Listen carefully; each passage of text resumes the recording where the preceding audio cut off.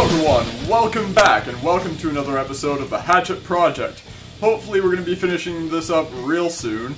This has already gone on a little longer than I've wanted, so we're just going to jump right in. Although before we jump in, there is a big issue I'd like to point out. As some of you eagle-eyed viewers might see, looks like there is a crack right there. And I saw another one trying to form up here from what it looks like. Yeah, like right there. So that may be an issue in itself. But today, we drill.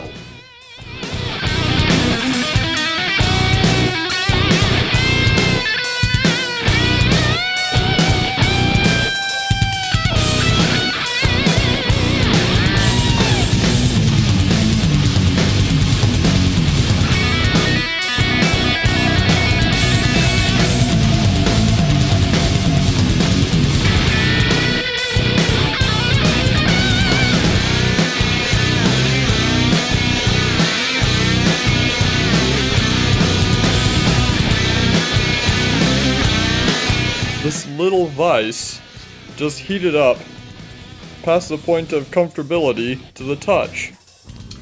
Okay, so I apologize for the sudden change in location, but some stuff happened, so bear with me here. Um, it was around that time that I decided to scrap the project. Yes, I ended up giving up on it. Now, this is for a variety of reasons. The punches were actually getting harmed by the steel, which is really unusual. Um, and just annealing it over and over again just did not sound like it would be a very good idea. Um, I would still be working on it now, like, and it's been a while since I recorded that, so, um, yeah, life has been a little chaotic, so it's been hard for me to get around to that stuff. But all this to say that uh, I scrapped the project. Um, it was becoming a little too much. I had other things I needed to focus on, so yeah. Um, as you might notice, this video is a little bit longer than like right now. It's not cutting off right now. So here goes the next part of the video, which ended up being decently good.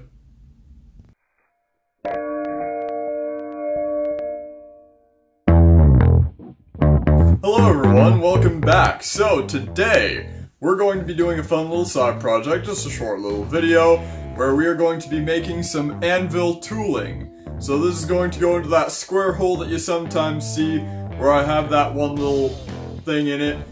Uh, and it is going to be for the purpose of a future video. It's going to look actually pretty similar to it, it's just going to be at a little sharper of an angle. So with that, I guess now that the project's explained, time to make it happen.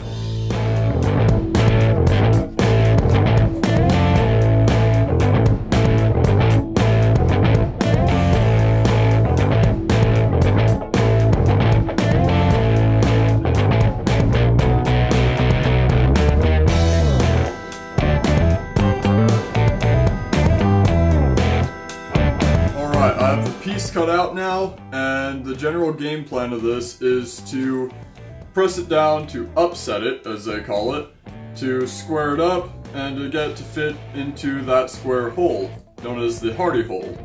And I'm going to see if I can make probably this side, just sort of get that nice sort of angle going on it, and we'll see where it goes from there. Hopefully it actually turns out the way I want it to turn out.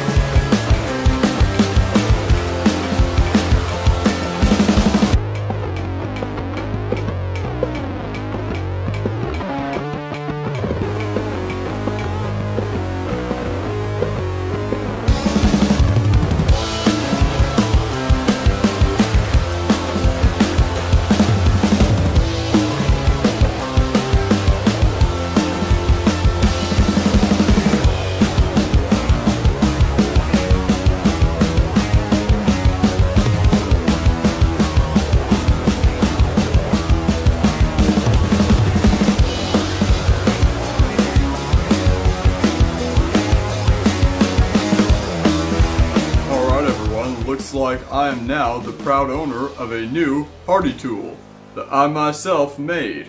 Decided to oil quench it, make it nice and hard, um, and it looks like it came out pretty well. I mean, it's, it's pretty even, you know, it's a little bit uneven, I think.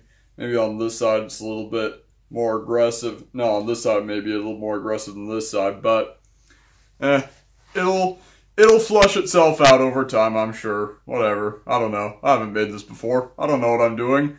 But it was a fun project to work on. It was a nice little thing to spend maybe two hours on at most. So, yeah, I'll just... This is the first time I've done something like this, aside from that other thing that I have laying around here somewhere. This is just a better version of it. So, yeah, I'm just really glad about how it turned out. So anyway, thank you guys for joining me for this video. I hope y'all enjoyed it. I hope y'all have a great day.